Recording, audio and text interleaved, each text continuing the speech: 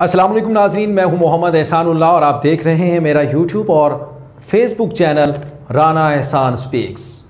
नाजरीन, पाकिस्तान ने जब सऊदी अरब से कश्मीर के मामले पर ओ आई सी का इजलास बुलाने का कहा था तो उस वक्त भारत की वजह से सऊदी अरब ने कश्मीर पर खामोशी इख्तियार कर ली थी। उसका मतलब ये नहीं था कि पूरा सऊदी अरब ही इस पर खामोश था, नहीं, ऐसा नहीं है नाजीन शाह सलमान बिन अब्दुल अज़ीज़ ने इजलास बुलाने का कहा था, लेकिन Saudi prince Mohammed bin Salman Bharat के हम नवा थे। उस वक्त शाह सलमान की तबीयत कुछ ज़्यादा ही ख़राब थी, जिस वजह से वो सामने नहीं थे आ सके। अब सऊदी अरब को फिर से पाकिस्तान की याद सताने लगी है, जहाँ पर सऊदी अरब के आने वाले बादशाह पर, यानी कि मोहम्मद बिन सलमान पर तनकीद हो रही है जमाल खशुगजी को लेकर, वहाँ ही पाकिस्तान ने बहुत ही अच्छा कार्ड फेंक कर उम्मत को एक करने का फैसला कर लिया है। नाजरीन, पाकिस्तान ने जमाल खशुगजी के कत्ल में अमेरिका को कैसे करारा जवाब देकर सऊदी अरब का साथ दिया? सऊदी अरब आने वाले वक्तों में अब क्या पाकिस्तान, रूस और चीन से हथियार खरीद सकता है कि नहीं?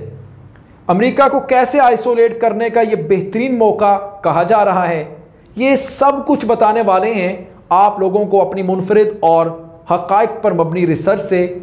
मजीद डिस्कशन से पहले वीडियो को लाइक कर दें और चैनल को भी सब्सक्राइब करके बेल आइकन भी प्रेस कर दें। नाजरीन कराम जो बाइडन पर बहुत ज़्यादा प्रेशर आ रहा था कि वो जमाल खुशुगजी की रिपोर्ट को पब्लिक करें। आप लोगों को थोड़ा सा बता दें कि खुशुगजी का वाक़ क्या था ताकि आप लोगों को उसके समझने में आसानी रहे। नाजरीन कराम जमाल खुशुगजी सऊदी अरब के रहने वाले थे और वो सऊदी शाही ख़ानदान के बहुत ज़्यादा करीबी अफराद में भी शामिल थे। अचानक ही वो सऊदी अरब के ख़िलाफ़ हो गए और उन्होंने शाही ख़ानदान के ख़िलाफ़ लिखना शुरू कर दी। मैं चीदा चीदा बता रहा हूँ, और वो अमेरिका में चले गए। अब वो अपनी मंगेतर से शादी करना चाहते थे, जिस वजह से उन्हें कुछ ज़रूरी कागजात चाहिए थे। जो कि सऊदी अरब से उन्हें मिलने थे, लेकिन उन्हें मशवरा ये दिया गया कि आप ऐसा करें कि तुर्की में, इस्तंबुल में सऊदी एम्बेसी से भी ये कागजात बनवा सकते हैं। तो नाजरीन कराम, अब ये सारा माहौल जानबूझकर ऐसा बनाया गया था कि वो इस्तंबुल में आए, क्योंकि मोहम्मद बिन सलमान की स्पेशल फोर्स भी इस्तंबुल में किसी मखसूस टास्क के लिए पहुँच गई थी। और उन्होंने वहाँ जमाल खशुगजी के टुकड़े टुकड़े कर दिए। उस पर दुनिया में आवाज़ें भी उठी, लेकिन ट्रंप और मोहम्मद बिन सलमान बहुत ज़्यादा करीबी दोस्त थे। जिस वजह से वो दोनों ही रिपोर्ट को पब्लिक करना चाहते थे। तो यूँ 2018 में अमेरिकी खुफिया एजेंसी सीआईए ने सात हफ्तों में नाजिन ये रिपोर्ट तैयार कर ली थी। जिसके कुछ पॉइंट्स मैं आपके सामने भी रख देता हूँ।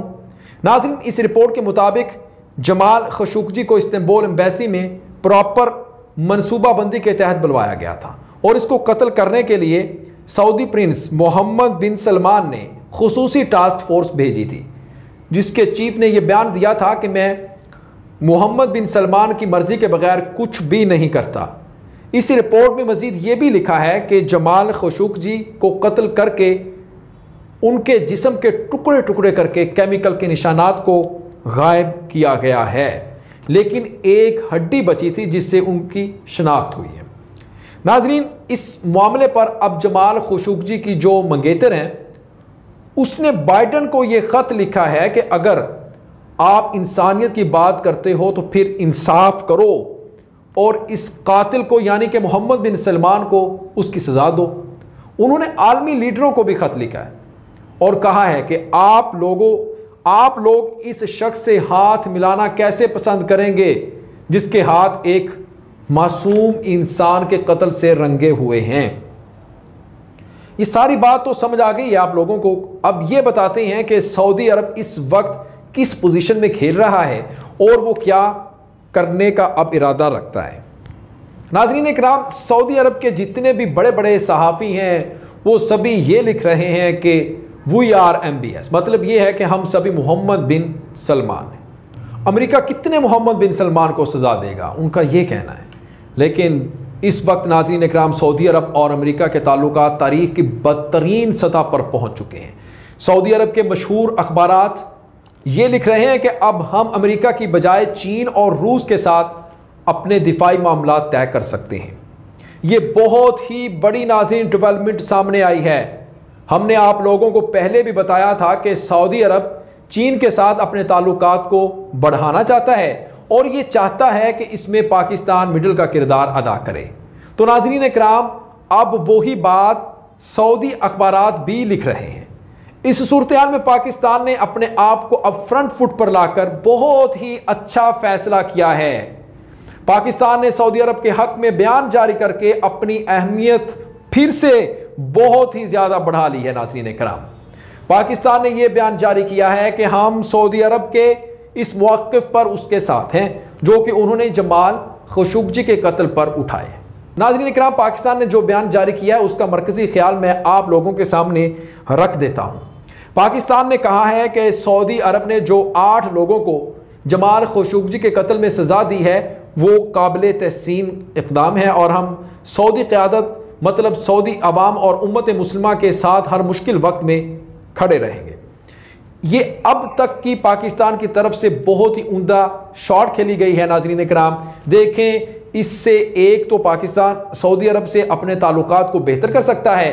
तो दूसरा, नाजरीन कराम ये है कि सऊदी अरब के हमारे जो ब्लॉक में आने से गल्फ ममालिक मतलब पाकिस्तान में आ सकते हैं। सबसे बढ़कर यह है कि अगर अगर नाजरीन कराम सऊदी अरब दोबारा से पाकिस्तान के साथ जुड़ता है तो यहाँ से भारत को बहुत ही भयानक तरीके से हम झटका दे सकते हैं, जिसको कहते हैं ना, ज़ोर का झटका।